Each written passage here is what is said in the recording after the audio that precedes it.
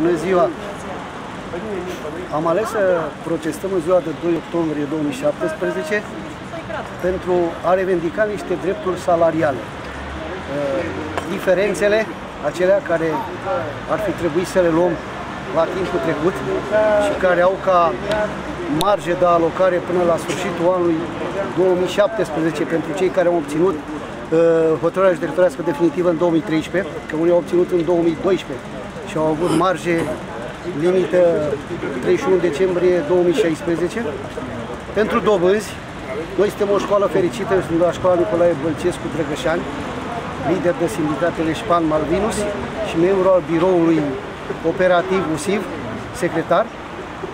Și suntem o școală fericită în sensul că am reușit să luăm măcar 5% din dobânzi, alte școli n-au luat nimic.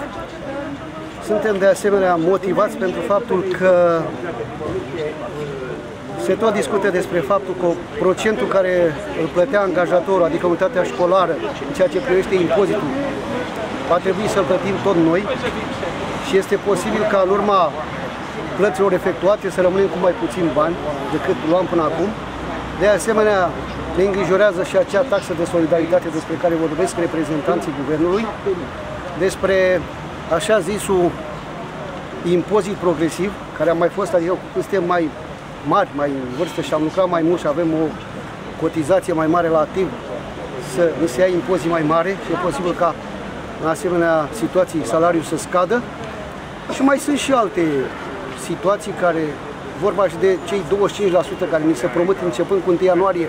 2018, dar e posibil și din ce au văzut că au calculat analiștii și economiștii, din cei 25% să rămână doar 4%,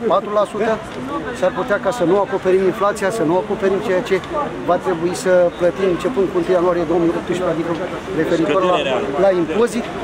și alți factori care uh, ne fac să ieșim în stradă să protestăm pentru că